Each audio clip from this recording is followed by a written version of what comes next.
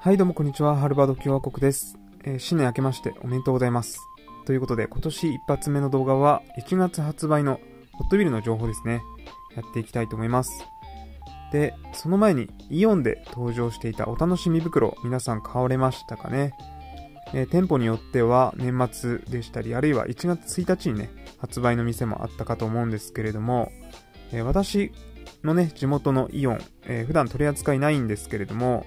えーそちらではですね、27日に行ったら、えーなくてですね、29日に行ったら、えー A セット、いわゆる A セットが2個だけあるというような状況で、えー一つね、えー購入しました。はい。まあ、結構ね、去年なんかは売れ残って、しばらくね、売れ残っていた、まあ、その反動なのかわからないですけれども、今年はね、数が少なめでしたかね。結構ね、すぐに売り切れた印象でしたね。はい。ということで、早速ね、えー今月発売のホットウィルやっていきたいと思います。今月は N アソートですね。で、新金型が4つですね。ボルボ240までの4つ。そして単品販売の方にも1つありますので、計5つのね、新金型があるという形になっております。それでは1台ずつ見ていきたいと思います。まずはパガーニゾンダールですね。えーブラックの車体にね、ゴールドの、えーホイールということで、まあ、このね、色の組み合わせ非常にかっこいいですよね。で、上の方にはね、イタリアの国旗のストライプが入ってますね。えー緑、え白、赤とね、えまあ、入ってまして、非常にかっこいいデザインになってるかなというふうに思います。続いては、マックススティールですね。車体にね、54という数字が入ってますけれども、50周年から続くね、えーまあ、記念のミニカーになってるかなと思います。今回はね、エンジンに特徴のあるホットロッドということで、こちらもね、人気になりそうなんですけれども、まあ、単品ではないので、うん、まあなかなか厳しいかなとえいうふうに思ってます。続いては、ロータスエヴァイアですね。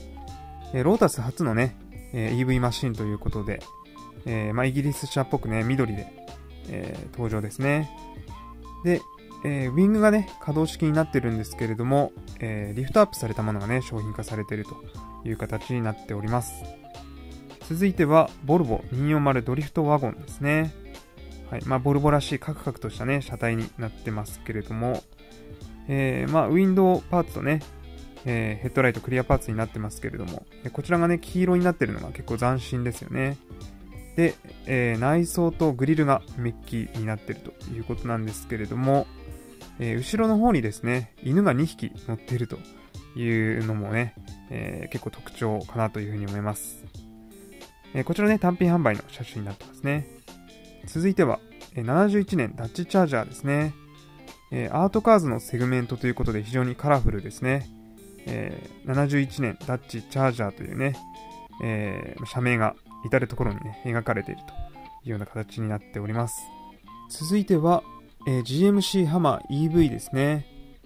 はい。まあ、ハマーの EV ということで、えーイエローでね、最初に登場したかと思います。今回はね、オレンジということで、こちらもなかなかかっこよくデザインされてるかなというふうに思います。続いては、テレビシリーズバットモービルですね。バットモービル系はね、結構人気にならない印象なんですけれども、こちらはね、珍しくゴールドとパープルの、えー非常にかっこいいね、えーミニカーとなっていますので、もしかしたら争奪戦になるかもしれないですね。まあ、できればね、欲しいなというふうに思っております。で、ジェメーラはね、先月登場ということなので、そのお隣ですね、90年アキュラ NSX ですね。えー前回は水色で登場していたかと思います。えー今回はイエローということで、前回と同様にね、単品販売となっております。えーどうやらね、今後、ジャパニーズクラシックだったかと思うんですけれども、まあ、そういったアソートがね、登場するということで、こちらをね、90年アキュラ NSX がね、登場するみたいなので、そちらも楽しみだなというふうに思います。続いては、ルシッドエアーですね。はい。えー前回はね、シルバーで、えー新規で登場したかなというふうに思うんですけども、今回はホワイトで登場ということで、まあ EV 車はね、良くも悪くもシンプルですので、えーまあ実際ね、それがミニカーに、ね、なってくると、ちょっとね、おもちゃチックに見えるかもしれないんですけど、実物を見て判断したいなというふうに思います。続いては、シェルビーコブラ 427SC ということで、えー前回はね、えーホットイールレースチームのカラーリングで単品販売でね、登場したので、皆さんね、買えたんじゃないかなというふうに思います。今回はね、シェルビーコブラとしてはちょっと珍しいかもしれないですね。イエローで登場ということで。はい。まあ、今回はね、単品から、えー、外れているので、欲しい方はね、えー、ちょっと難易度が上がっているかなというふうに思います。続いては BMW R90 レーサーですね。前回はね、えー、白で登場しまして、えー、BM のね、ワークスカラーで登場していたかなというふうに思うんですけれども、今回はね、ブラックということで、まあ、非常にシックでかっこいいデザインになってるかなというふうに思います。続いては、レンジローバークラシックですね。前回はレンジローバーらしく緑でね、登場していたかと思うんですけれども、今回はね、黄色がかった黄土色で登場です。まあ、相変わらずね、デザイニング塗装もされておりまして、まあ、非常にかっこいいデザインに仕上がってるかなというふうに思います。続いては、えー、18年カマロ SS ですね。えー、ゼンナウということで、えー、今回は Now ですね。前の方は81年のカマロで登場していったかと思います。まあ、そちらはね、サイドの方にスポンサーデカールっぽいね、えー、担保印刷が施されていたんですけれども、今回はね、そういったものがないので、ちょっとね、寂しいかなという気もしますね。続いては84年マスタング SVO ということで、えー、こちらがですね、M アソートのスーパートレジャーハントの車種になっております。まあ、先月ね、ちょこちょこ登場したっぽいんですけれども、えー、こちらね、えー、自分はゲットできていないので、えー、今月ゲットしたいなと思います。え紫でね、シルバーのサシが入ってまして、非常にかっこいいなと思いますね。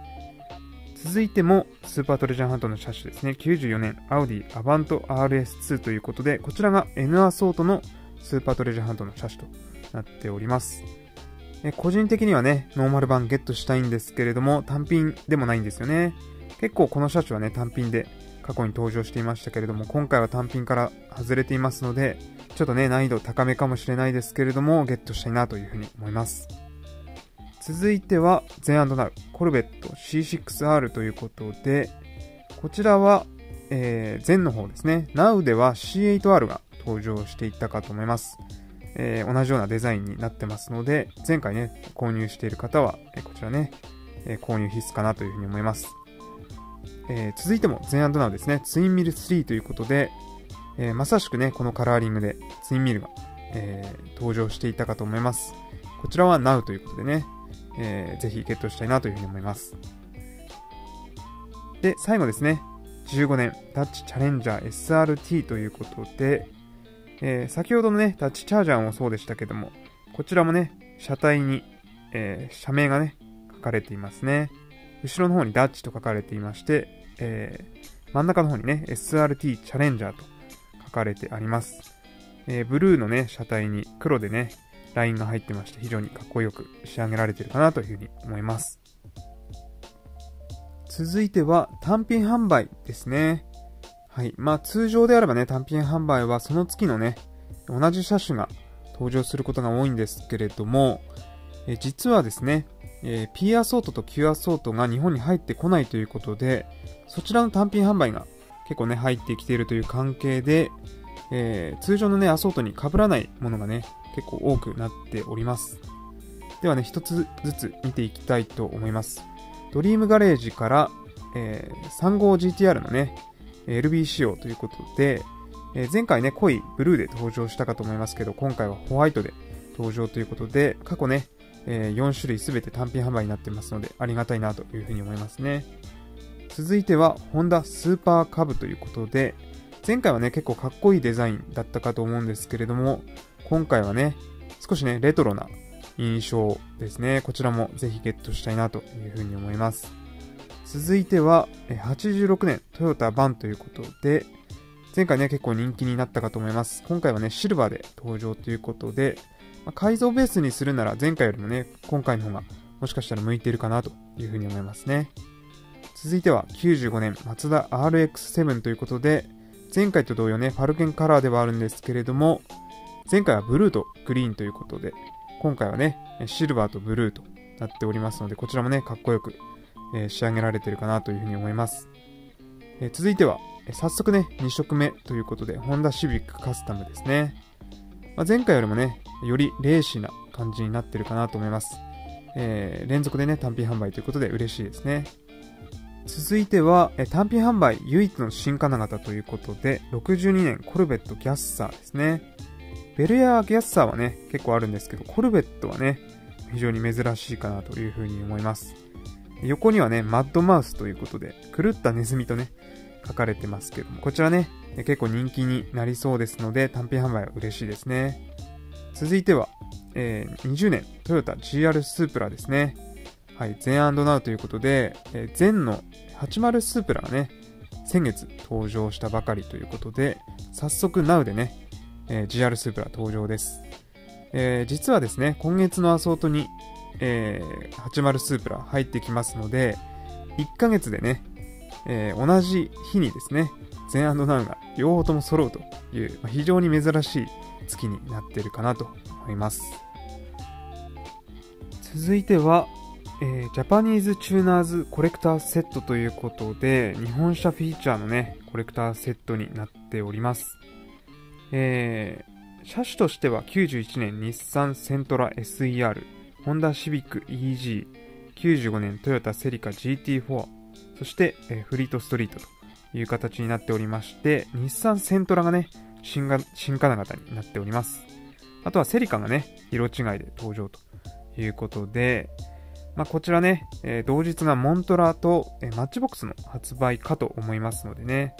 まあ、最近コレクターセットね、入荷数そんなにないので、えー、欲しい方はね、えー、Amazon で予約するのがいいかなというふうに思います。え、発売の時期は1月28日ですね。価格は4510円となっております。続いてはカーカルチャーローニンランということで、こちらもね、ジャパニーズ系というかね、日本車フィーチャー系のアソートになっておりますね。はい。新金型は、えー、FC パンデムですね。えー、こちら新金型ということで、ロールバーなんかもね、再現されていて、注目の車種かなというふうに思います。まあ、その他ね、RX7FD は、非常に渋いカラーリングですね。まあ、メインラインでもね、同じようなカラーで過去に登場してるんですけれども、えー、プレミアムラインでもね、登場ということで、それから Z32 ですね。こちら、赤ではプレミアムラインは初登場ですかね。まあ、非常にかっこいいです。で、えー、トミカの方でもね、トミカプレミアムとあのトランスポーターとのセットでね、赤い Z32 が登場するということで、同じ月にね、トミカとホットウィールで、えー、プレミアムの方で登場するという、まあ、珍しい形になってますね。それから81年、トヨタスターレット KP61、えー、赤でね、過去に登場してますけれども、今回紫に、えー、ゴールドのね、差し色ということで、こちらもめちゃめちゃかっこよく仕上がってるかと思います。それから 22BSTI バージョンもね、ボンネットが、えー、カーボン調になっていて、なかなかこちらも良さそうですね。はい。で、今回ね、日本車フィーチャー系の5台となってますので、まあ、おそらく数結構入ってくるんじゃないかなというふうに思いますね。はい、新金型の FC パンデムなんかも、えー、Amazon でね、結構ちょくちょく復活して、全然ね、在庫がある状況ですので、まあ、かなりね、数が入ってくるんじゃないかなと個人的に予測しております。発売は1月7日ということで、メインラインと同じ日ですね。価格は825円となっております。えー、最後は、えー、モンスタートラックですね。えー、今回はこちらの8種類登場ということで、えー、まあ、個人的に注目はゴジラですかね。はい。まあ、なかなか、えー、リアルに作られてますかね。日本車でゴジラという風にも入ってますしね。あとはね、ガッタダンプなんかもね、働く車系として、まあ、結構かっこいいかなという風に思ったりしております。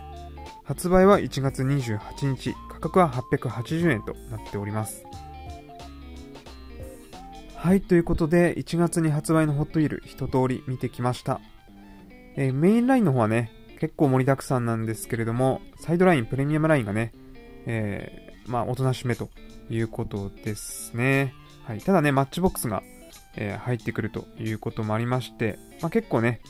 えー、ホットウィールおとなしめマッチボックスが入るという、まあ、先月と似たような感じになってるかなというふうに思います。はい。まあね、えー、ピアソート、キアソートがね、えー、残念ながら入ってこないっぽいということなので、今月ね、全力で購入したいなというふうに思います。はい、ということでね、今回は以上になります。え今年もね、よろしくお願いいたします。ではまた。